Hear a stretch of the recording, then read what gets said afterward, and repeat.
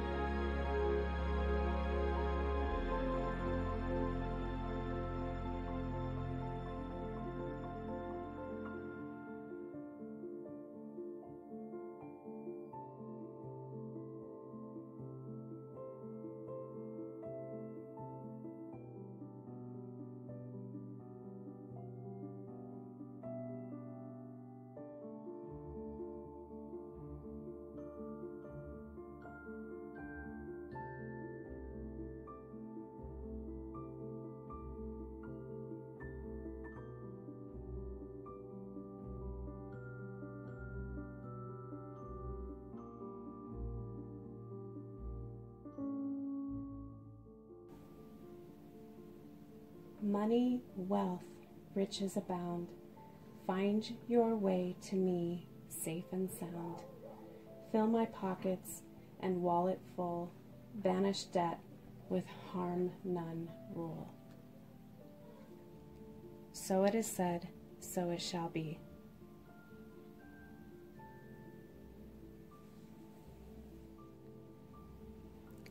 This is a really good time to take a few minutes and meditate with your spell on your intentions, what you're wanting to manifest, your specific intention that you wrote down on your paper, and hone in on already having what you put down on your paper. You always want to focus on as if it already happened. So instead of saying, I want money to come to me, you need to say, I have enough money, or like my paper says, a specific amount is in your hands, meaning it's already there. Once you have sat and focused on your intentions for a while, meditated with it, I really like to sit and stare into the flame, and that's how I tend to focus on my intention, anyways. Um, but once you've done that, let the candle burn all the way down. And for this reason, I use these chime candles or birthday candles if you don't have enough time